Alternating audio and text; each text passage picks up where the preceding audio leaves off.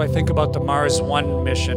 For, for those who haven't heard of Mars One, what, what it really means is Mars One Way.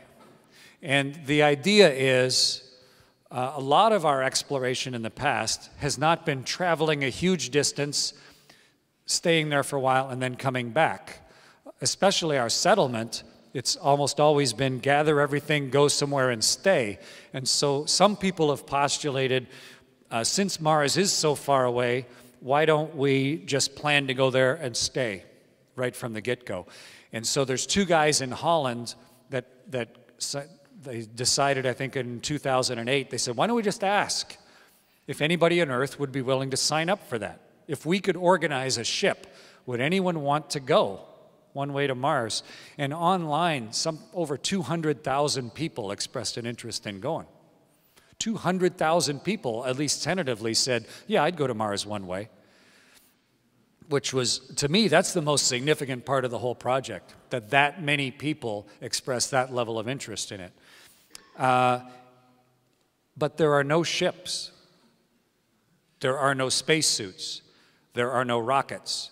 There is no technology that allows us to protect ourselves from the radiation and have a completely closed loop environmental system on the way to Mars. We would die before Franklin's crew did if we launched from Mars anytime soon.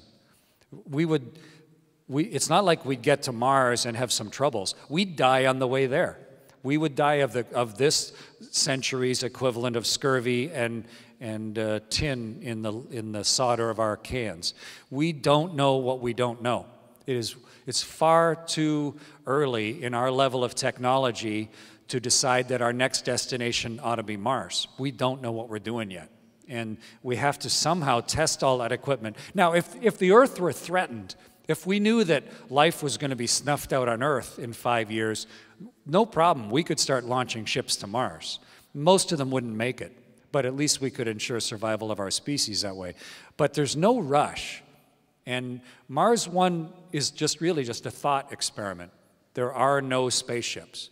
And if you're involved with Mars One, I would really recommend that tomorrow you start asking the hard questions. I want to see, if you go to the Mars One website, there is far more detail about how they are selling t shirts than there is about the spacesuits. There are, the technology doesn't exist. They say, oh, we'll just buy it off the shelf. There is no shelf of Mars exploration hardware, it, it doesn't exist. So um, if I were one of the people interested in that, I would start asking the hard questions now. Uh, astronauts don't go take a little training somewhere and then ride in spaceships.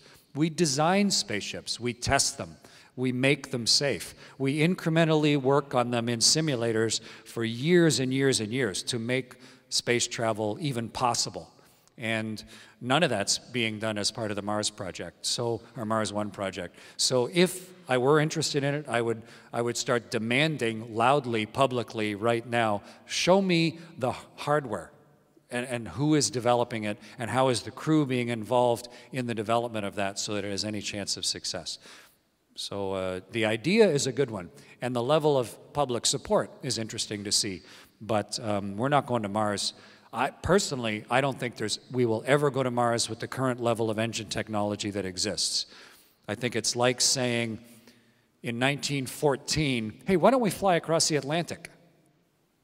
Well, maybe you could, you know, get in one of those early 1914 airplanes and head west, but almost, probably all of them are going to crash before they get to North America. We just didn't have the technology safely to do it. And it took almost 50 years in the invention of the jet engine before we really could set up useful commercial flight across the Atlantic. It, it takes time. And eventually we'll get there, but, but I don't think it's going to be the Mars One model that does it.